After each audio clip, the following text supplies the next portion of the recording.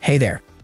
Are you having trouble accessing geo-restricted content on your Samsung Smart TV or concerned about your online privacy while streaming? Don't worry. In this tutorial, we will show you how to install a VPN on your Samsung Smart TV using three different methods. First, let's discuss why you might want to use a VPN on your Samsung Smart TV.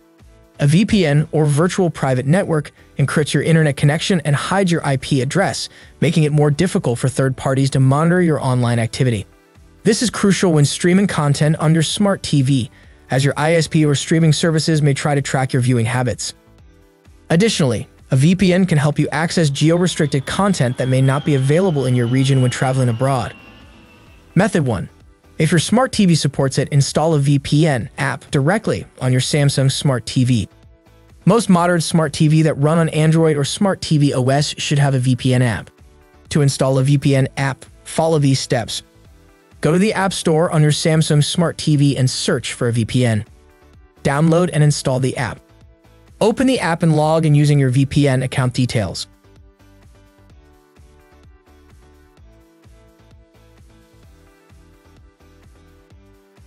Connect to a server location of your choice. Method 2. If your Samsung Smart TV doesn't have a VPN app, you can still use a VPN on your smart TV by installing a VPN on your home router and connecting your Samsung Smart TV to that router. This will have the same effect as using the VPN app on your smart TV, and it will also enable you to use a VPN on other devices connected to your home network. You can follow the tutorial in the description below to install a VPN on your router. Method 3. Share your VPN by creating a hotspot on a computer where you already have a VPN installed and connected. This method requires you to have a computer with a VPN already installed and connected. In this tutorial, we will be using ExpressVPN. If you want to learn more about ExpressVPN, you can check out our full review. Here are the quick steps to set up a VPN hotspot. Open Network and Internet settings on your computer. Click on Mobile Hotspot and enable it by toggling the switch at the top. Underneath these options, press on Edit and set a name and password for your VPN hotspot. Find an option for more network adapter options and click on it. Identify the mobile hotspot adapter and ExpressVPN adapter. Right-click on ExpressVPN adapter, go to Properties, and then go to the Sharing tab. Check the first box that says Allow other network users to connect through this computer's internet connection. In the Home Networking Connection drop-down menu, select the mobile hotspot that you just created through the Windows settings. Connect to the VPN via the ExpressVPN app and change the protocol to OpenVPN UDP.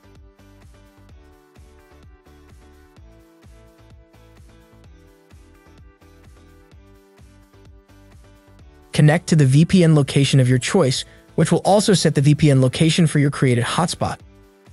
On your TV, connect to the newly created hotspot. If you need help setting up a VPN hotspot on your computer, check out our tutorial video in the description or on our channel. Once your Samsung Smart TV is connected to the hotspot, it will use the same internet connection and IP address as your computer, which is connected to the internet through ExpressVPN. This means that all traffic from your smart TV will be encrypted and routed through ExpressVPN servers. You can test if the newly created connection is working by checking your IP address with any device that is connected to this newly created VPN hotspot. I will be using my second computer to test it, but you can use your TV or some other device. Now you know three different methods for using a VPN on your Samsung Smart TV.